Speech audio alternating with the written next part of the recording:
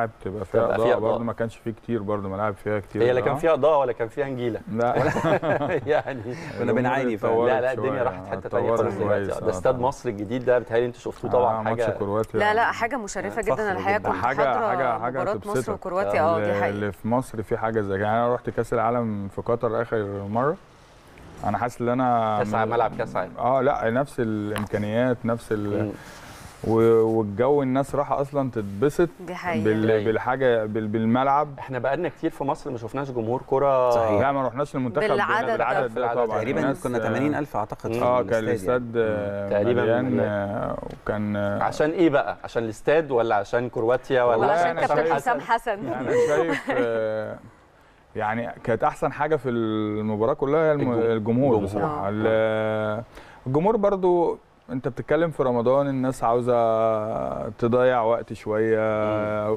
كله واخد الأسرة كاملة ورايحين مكان يعني في ناس جاية من المكان واللي قاعد مثلا. في أكتوبر مم. انت بتسافر بتقعد يجي ساعة ساعة و10 عشان توصل أيوه ف- فالناس راحة حابة تشوف ال- الملعب لما شافوا المباراة الأولانية. وكرواتيا.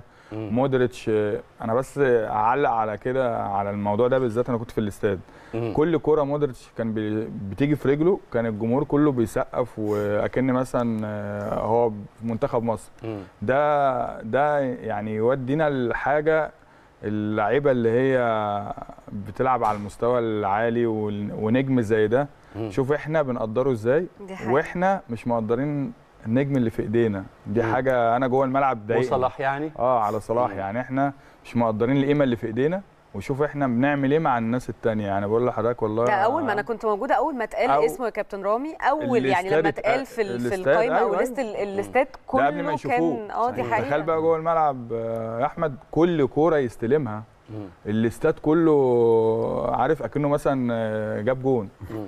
فأنا أنا بقيت قاعد بصراحة. متضايق، أنا ضايق. متضايق. أنا آه. راجل كلاعب كورة أنا متضايق. أصل محمد أخويا الصغير ومحمد لحد دلوقتي في المقاولين العرب ست سنين. أنا في المقاولين العرب طلع على إيدي الواحد و... مم. وهي هي العقلية. ما اتغيرش هو هو الشخصية. طور. يقابلك في الكورة آه كابتن أشرف يعني. برضو هقول لك حاجة رامي. يعني ممكن المكانة اللي وصل ليها محمد أنت عارف آه، هو نجح نجاح غير مسبوق طبعا. نجاح تاريخي. وبقى نجم عالمي بكل المقاييس ده بيخلي الجمهور شوية آه، بتحاسب صلاح غير ما بتحاسب أي حد تاني غير ما بتحاسب جهاز فني غير ما بتحاسب لعيبة. بتخلي سقف طموحات الجماهير للمنتخب مع صلاح غير أي حد تاني. فده يمكن شوية بس أنا هقول لك حاجة يا أحمد بس اقطعك في ديت. هو القصة مش في الجمهور. مم. أنا عاوز أقول لك برضو هي المشكلة مش مع صلاح في الجمهور. آه. استحالة ودي يعني حاجة مت- متأكد منها. هي القصة في ناس مش مدياله قيمته.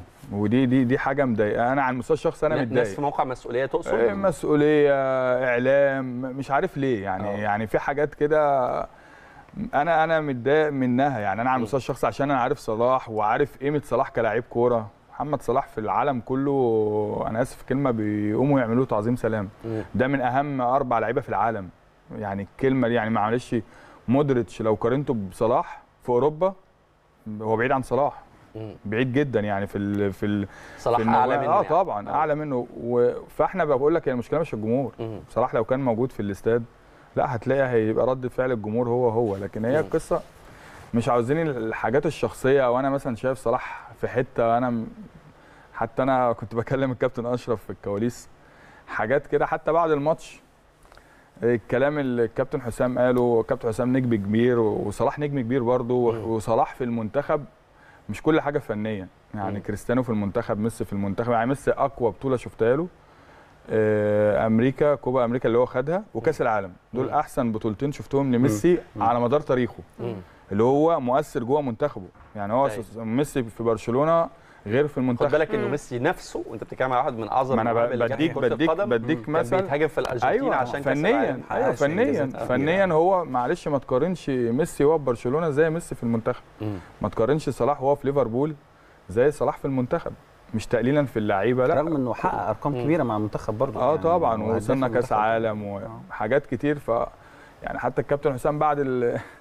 بعد الماتش حاجات كده بسيطة هو نفسه صلاح هيتاثر بقى نفسيا يعني الموضوع مش عاوزين الموضوع يبقى فيه فجوة عاوزين نتمنى طبعاً. بس إحنا لسه كنا يعني. بنتكلم يعني يا كابتن رامي يمكن أنا وأحمد قبل ما حضراتكم تشرفونا على فكرة صلاح وعلى فكرة تطوير نفسه طبعا ما حدش يقدر يغفل قيمة صلاح الكروية وفكرة كمان عقليته يمكن هو تعرض لده كتير يمكن مش الفترة دي بس ولكن هو دايما بيبقى قادر إن هو يتخطى كل ده إحنا دايما حتى شفناه بعد الإصابة راجع أقوى من الأول محقق أكيد نجاحات كبيرة فيمكن آه، يعني آه، هو صلاح هو فنيا هو فنيا اتطور يعني طبعاً. بحاجة وصلته لل- لل- للليفل اللي هو فيه ده. لكن هو عقليا لا هو مختلف عن عن طبعاً. يعني بنتكلم عن المحترفين اللي طلع مختلف طبعاً. تماما وبيقدر في الضغوط يتعامل وفي المشاكل بيتعامل في كذا مشكلة حصلت بينه وبين اتحاد الكورة وهو قدر يعديها. طيب أنا أنا عايز آخد رأيكم وشاهد مريم عليكم في قصة ال- ال- المهاجمين والفراودة. بما إن إحنا فتحنا سيرة منتخب مصر ومصطفى محمد الحقيقة من من الفراودة اللي أثبتوا وجودهم في الفترة الأخيرة بشكل كبير بالذات حتى في أمم أفريقيا يمكن كان واحد من من أهم نجوم صح. المنتخب لكن أنا لفت نظري كذا حاجة عايز أسمع رأيكم فيها بس هتسمحوا لي أروح أنا ومريم لفاصل. وارجع أسألكم وأسمع إجابتكم على السؤال.